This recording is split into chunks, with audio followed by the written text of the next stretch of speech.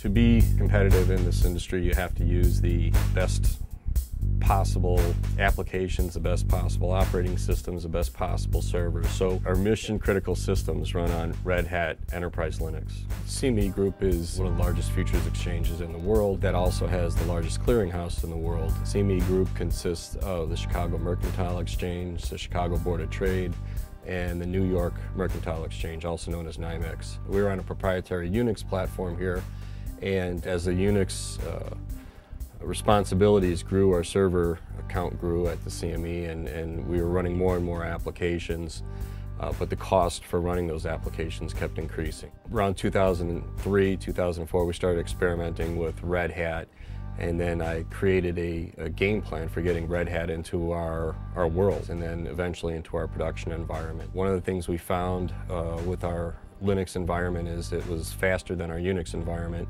and speed in this industry is really important. A lot of our better developers were developing locally, you know, on JBoss because if they needed messaging or middleware, you know, they would have that, and they, it was it was too heavy for our developers to, to run WebLogic internally.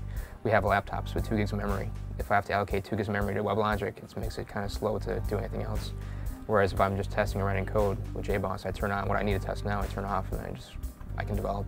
Whenever I can make my footprint smaller, I can always do more instances. Uh, I expect more throughput, I expect better uh, performance. A stable, well-performing environment is extremely important to us.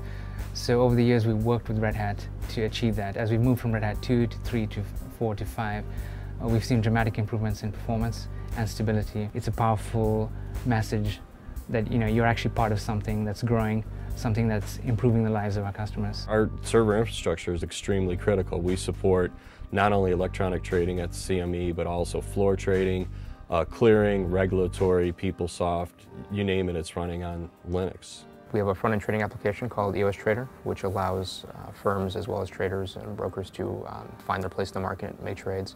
Uh, then we have general free applications that disseminate market data, which include the website and some other uh, more real-time type of applications. In 2008, uh, we did a total of 1.2 quadrillion dollars worth of uh, contracts.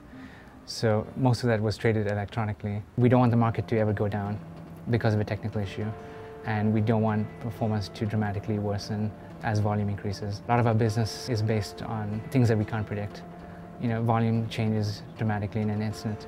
We need to react very quickly. We can't have an issue with an operating system and not have someone to turn to to help us with that issue. Our, our customers are way too critical. So the first uh, thing to do was to kind of draw up how we were going to get support for Linux and Red Hat was, you know, had the best support infrastructure and was also the, the most solid product. We thought we could save something. We didn't really realize how dramatic the savings were. We didn't realize it wasn't just a one-time thing, that there was an initial switch to Linux that saved us money from a support perspective, but over time as well, you know, we've been able to negotiate better terms and a combination of Linux and commodity x86 hardware has dropped our costs even further. Open source to me is, is not just about um, cost, it's about the ability to innovate and the transparency into the code. When I was a developer and when I was a manager, I had far too many instances where we'd have a pay for support model and I can't see what's happening in the code.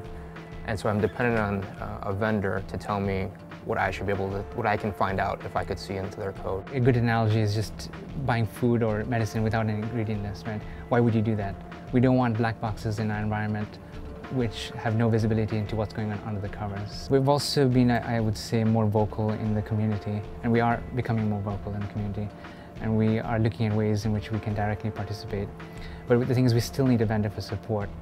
And so that's where you know the relationship with Red Hat and the innovation happens. We were on the leading edge of, of using Linux. We see our partnership with, with Red Hat as key to staying on top of competition, being competitive, and uh, you know we're, we're constantly looking to Red Hat for support for the changes we're looking for as far as tuning and and just an improved kernel so that we could give our customers the best possible trading experience.